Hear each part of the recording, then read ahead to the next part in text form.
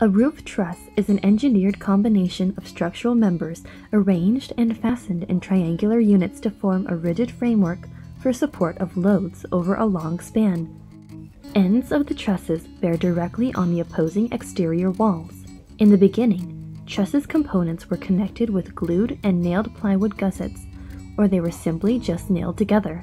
A newer fastening method is using light gauge steel plates instead of plywood gussets. The plates were pre-drilled to receive nails. Metal plate connectors with teeth punched from the base metal evolved from pre-drilled plates. Most trusses used today in residential and light commercial construction are called metal plate connected wood trusses. The basic components of a roof truss are the top and bottom chords and the web members. Web members extend between the top and bottom chords and are tied together with metal plate connectors. The top chords serve as the roof rafters, and the bottom chords act as ceiling joists. Webs and chords must not be drilled or notched without the approval of the truss designer. Trusses may be placed over most types of walls, including wood framed, precast concrete, and masonry walls. Trusses can be designed to form various roof types, including gable, hip, mansard, and gambrel. They are also available for intersecting roofs. A variety of truss designs are available. Common truss designs include the king post, W-type, queen post, K-type, room in attic, scissors, piggyback, hip, girder, and vault.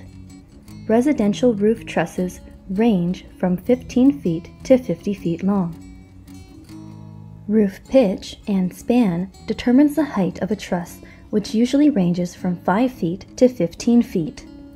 The minimum sizes of lumber used in truss fabrication are 2x4s, or 38 by 64 mm for the chords, and 2x3s, or 38 by 64 mm for webs. The sizes of chord and web members are increased for greater loads, spans, and stud spacing.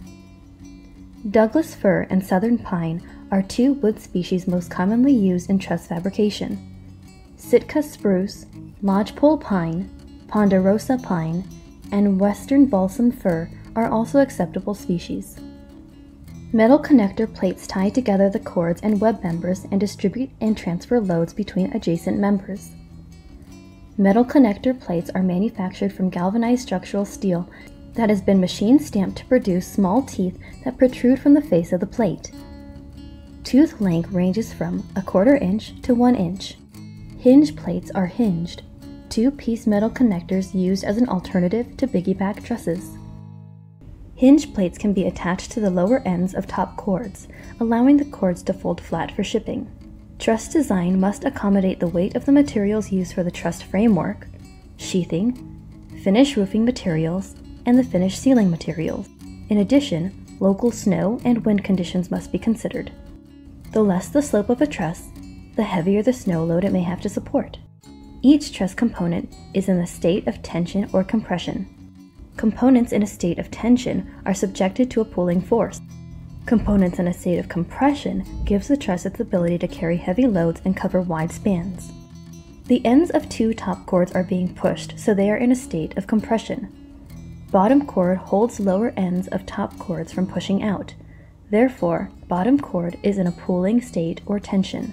Because lower ends of top chords cannot pull apart, peak of truss cannot drop down. Long webs are secured to peak of truss and also fastened to bottom chord. This gives bottom chord support at spans between exterior walls. Weight of bottom chord has a pulling effect on long webs, or in other words, they are in a state of tension. Short webs run from intermediate points of top chord to points of bottom chord. Short webs provide support to top chord. This exerts a downward, pushing together force or compression on short webs. The overall design of trussed roof transfers the entire load of the roof weight, snow load, and wind load down through the exterior walls to foundation. The balance of tensions and compression gives a truss its ability to carry heavy loads and cover wide spans. Roof trusses are typically ordered from a truss manufacturer and delivered to the job site by truck. A contractor generally furnishes a truss manufacturer with the roof framing plans for the building. A tight fit between truss members is required for structural integrity of the truss.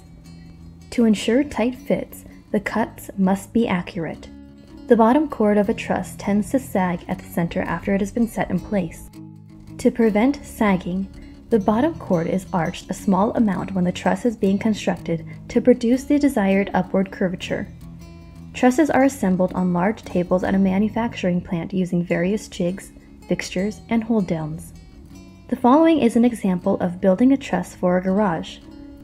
If the dimensions are provided, all the necessary members can be pre-cut with precise accuracy. Then the first truss can be made to serve as a pattern for the other trusses. Wooden blocks are temporarily placed on the top chord and bottom chord to serve as a guide for the following trusses. The members are temporarily fastened with 1-inch staples. Then metal plate connectors are properly positioned and pressed into the truss chords and web members according to the provided plans.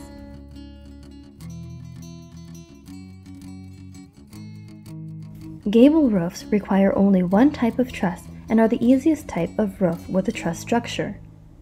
For a gable roof, at both ends of the building, Trusses will have gable studs spaced 16 inches or 24 inches on center instead of webs.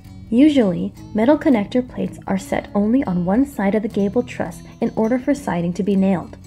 Siding will consolidate the structural integrity of gable trusses. Notch holes in the gable truss rafters accommodate the blocking for the overhang. Fasten the overhang rafters to the blocking. Hip roofs are framed using a combination of trusses and conventional framing or by using a Dutch hip system. When framing intersecting roofs, the most efficient method is to place the valley trusses on top of the sheathing. Before trusses are installed, all walls must be aligned and properly braced. Trusses are commonly placed 24 inches on center or approximately 60 centimeters distance between each other. Smaller and lighter trusses can be placed by hand on one-story buildings. The trusses are placed upside down between the walls, hanging with the peak downwards. Using a lifting pole with a V shape at one end, one worker can rotate truss to upright position. If one lifting pole is used, it should be placed at the peak of the truss. For heavy trusses covering wider spans, two workers using lifting poles might be needed to set the truss on top of the double plate with the peak upwards. If two poles are used to upright the truss, the pole should be positioned close to the quarter points of the span. Longer and heavier trusses are hoisted by crane into the upright position. Bracket scaffolds may be attached to the inside of exterior walls so carpenters can fasten the trusses to the double top plate. Metal truss spacers are a fast and accurate method for spacing trusses and eliminate the need to mark top plate before placing trusses. Truss spacers can remain in place under the roof sheathing. Some types of truss spacers are not designed to brace roof trusses. They are a convenient means for accurately laying out trusses. Metal anchors, hangers, and angles are used to attach trusses to the tops of framed walls and to one another. Metal anchors are used to attach the heels of a truss to the top plate of a framed wall. Truss hangers are used to attach trusses to other trusses such as when attaching hip jack rafters to hip rafters. Proper temporary bracing while placing trusses is essential to prevent collapse of trusses, with possible damage to the trusses and worker injury. Metal or wood braces can be used for bracing roof trusses. Trusses are erected starting at one end of a building and moving toward the other end. When the first truss is placed in a one-story building, the truss must be securely braced to the ground. In multi-story buildings, the trusses are braced to the subfloor. Vertical and diagonal braces should be installed every 8 feet, with one end nailed to the top chord and the other end nailed to the horizontal tie or stake driven into the ground. Lateral bracing are installed for additional stability. One method of installing roof trusses is to first erect and properly brace the gable ends and run a string between them. Other roof trusses can be aligned to the string. Temporary diagonal braces should be installed across the top chords of the trusses at least every 30 feet, starting from one end of the building. Permanent metal braces may be installed between roof trusses as lateral bracing. Orientated strand board, OSB, or plywood panels are used as roof sheathing. When temporary braces are used, the braces are removed as each panel is fastened in place. All braces should not be removed at one time.